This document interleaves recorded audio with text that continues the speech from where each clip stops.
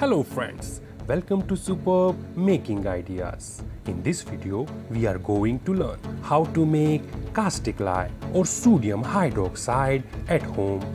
Before we move forward, it is requested to all the new viewers to please like and subscribe our channel so that you can get our latest uploads.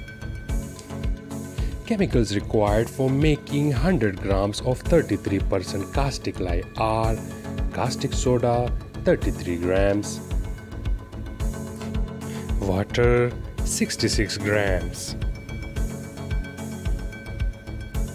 an empty jar and a stirrer.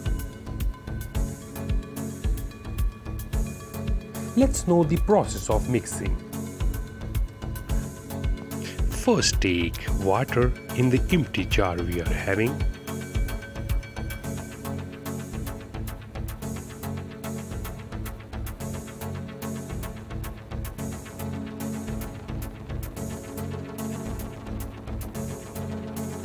Now add 33 grams of caustic soda in it.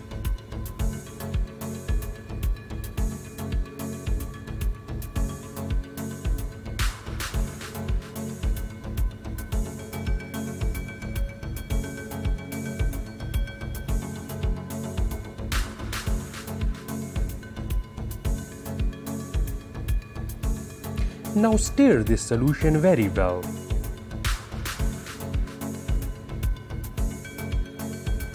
The temperature of the solution will rise at this stage, which will start decreasing after an hour.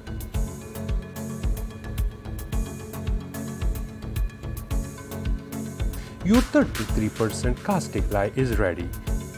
You can use it now. If you have learned anything new from this video, please don't forget to like and subscribe our channel. Thanks for watching this video.